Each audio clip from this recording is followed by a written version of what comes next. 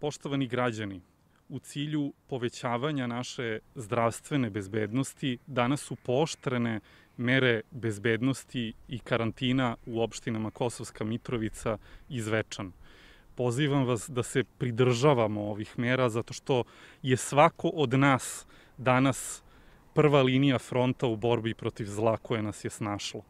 Od svakoga od nas zavisi koliko brzo ćemo izaći na kraj sa koronavirusom i koliko brzo ćemo moći da se vratimo našim normalnim životima i što je još važnije, od svakoga od nas direktno zavisi koliko ćemo uspeti da zaštitimo naše porodice, naše komšije, naše naš, najmilije i naš grad. Zato vas pozivam da budemo odgovorni i složni kao nikada do sada.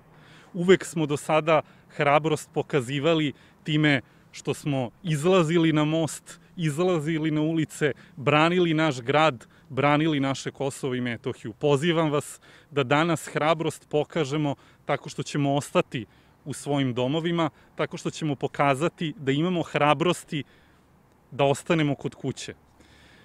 Smatram da smo preduzeli ozbiljne, sveobuhvatne i prave mere da zaštitimo našu sredinu od pošasti koja muči ne samo celu našu zemlju, nego i čitav svet.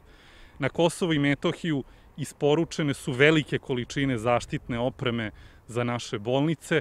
Ovih dana zapošljavamo i 75 lekara sa nacionalne službe za zapošljavanje i 200 medicinskih sestara. To znači da ćemo sve resurse koje imamo na raspolaganju staviti u funkciju borbe protiv ove opake bolesti. Smatram da je međutim veoma važno da svako od nas ponese svoj deo odgovornosti i svako od nas ima odgovornost za uspeh koji treba zajednički da postignemo. Uveren sam u to da ćemo za nekoliko nedelja biti u prilici da nastavimo sve dobre stvari koje smo započeli u našim sredinama na Kosovu i Metohiji, obnovu škola, puteva, izgradnju novih privrednih kapaciteta, da kao narod na Kosovu i Metohiji opstanemo. Ali da bismo to vreme dočekali u dobrom zdravlju, da bismo ga dočekali snažni, moramo sada da se povinujemo onome što nam kaže struka. A struka nam kaže da je mera karantina od 12 do 5 časova ujutru jedini način da zaustavimo zlo koje nas je snašlo.